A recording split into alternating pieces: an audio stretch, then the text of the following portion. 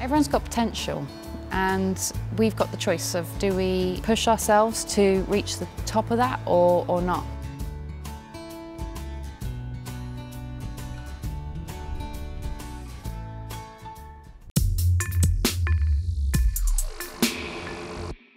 When I was growing up, I always had a, um, a, drive to be creative and design and make and I think that was from mum constantly encouraging us with the leftover loo roll tubes and washing up bottles to um, create and build.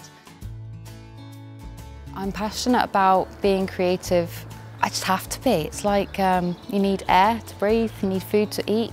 I need to, I need to make stuff. It's um, maybe I'm not so eloquent when I want to express myself verbally, but I can make things that, that show how I feel about stuff. And um, I think that's, that's a great therapy. It's a, a, nice way to go through life is to be able to express yourself. And so you all, everyone has to find their own way. And mine is yeah, making, creating, building.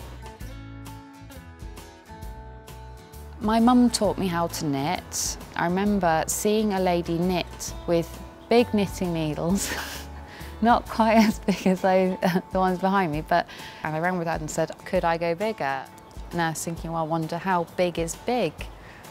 So I looked it up, walked the dog back home and announced that I will, I will be going to try and make the biggest knitting needles in the world. When I unveiled the needles, I think I was quite pleased to see a lot of people stopped and they looked.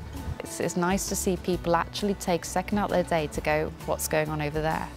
And then people started coming over and asking and talking and smiling and laughing and they were all very positive reactions. Having people believing me is a massive help. So often you realise, even at your lowest ebb, when people, they still believe in you.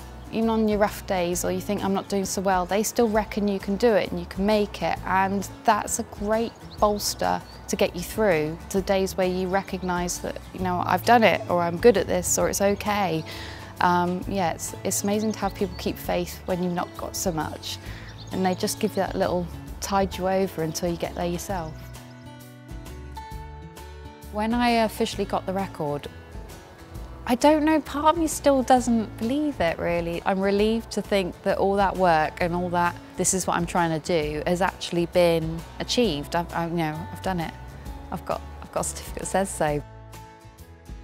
I don't consider myself that special.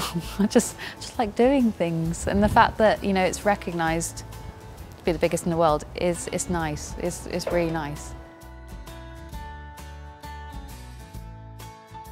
There's nothing Nothing can stop anyone, I don't think. If you truly believe you can do it, it doesn't have to be the most extraordinary. It could just be the normal day-to-day -day things. Um, yeah, just keep striving, just keep pushing forward. Give it a go. What's the worst that can happen?